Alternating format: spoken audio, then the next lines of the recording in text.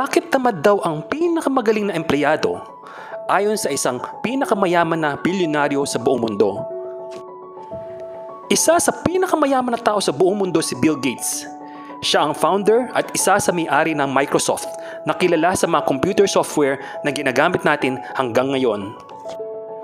Sa isang interview kamakailan, nakakatakang sinabi ni Bill Gates na naghahanap siya ng mga taong tamad pag nag-hire siya ng empleyado. Bakit nga ba? Ano ba rason niya? Ito ang sinabi niya.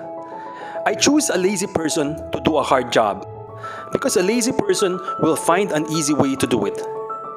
Sa Tagalog, pinipili ko ang tamad na tao para gumawa ng isang mahirap na trabaho. Dahil ang tamad ay makakahanap ng madaling paraan para magawa ang trabaho. Kung tutuusin mo, may punto siya. Hindi lahat ng solusyon ay kailangang mahirap. Minsan, ang simple at madaling paraan lang naman ang solusyon sa isang problema. May mga panahon din na ang sobrang pag-iisip sa problema ay hindi nakakatulong, kundi ang simple at madaling paraan ang pinakamabilis at epektibo. Isa pa, hindi naman siguro talaga tamad ang tinatawag na tamad. May mga rason lang kung bakit sila tinatamad, kaya't alam din ni Bill Gates ito.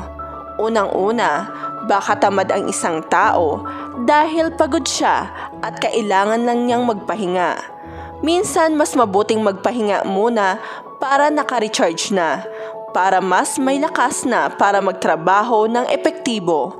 Pangalawa, minsan kulang ng tayo sa motivation o wala kang gana. Itanong mo sa sarili kung bakit.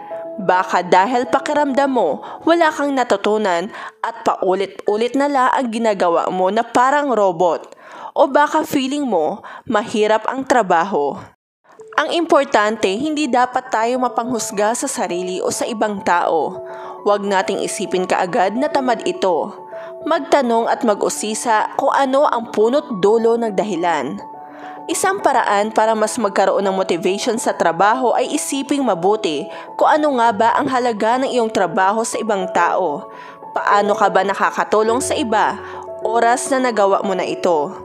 Isa pang paraan para magkaroon ng motivation ay ang pagbawas ng iyong trabaho. Minsan nakakalula pag nakita mong tambak ito. Pero kung nakatapos ka ng kahit kakaunti lang, mas madali kang maingganyo na gawin ang iba pang gawain.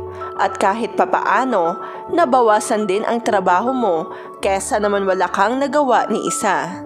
Maraming salamat sa pag-like ng video, sa pag-subscribe, at sa pag-click ng notification button.